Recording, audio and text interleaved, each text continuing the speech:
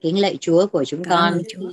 Chúa ơi buổi sáng hôm nay chúng con cũng dâng các mái ấm đó là chức vụ nuôi dưỡng mầm sống trên đất nước Việt Nam chúng con cho ngài.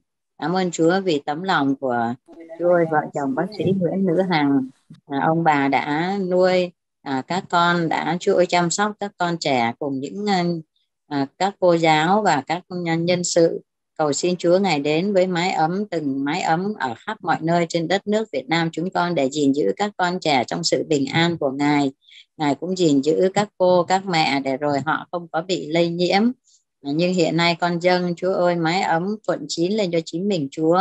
Cầu xin Chúa ngài đến à, Ngài chữa lành. Chúa ơi cho bác Hạnh đã 70 tuổi rồi. Ngài cũng chữa lành cho cô Hoa hơn 50 tuổi.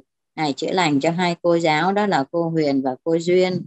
Lạy Chúa con cầu nguyện xin Chúa Ngài đến ngày chữa lành à, cho bác Hạnh bởi vì bác ngày hôm qua có mệt và con cũng cầu nguyện để Ngài cũng chữa lành cho cô Huyền vì sức khỏe của cô Huyền có kém. Chúa Giêsu ơi, chúng con buổi sáng nay công bố sự chữa lành từ nơi chính mình Ngài.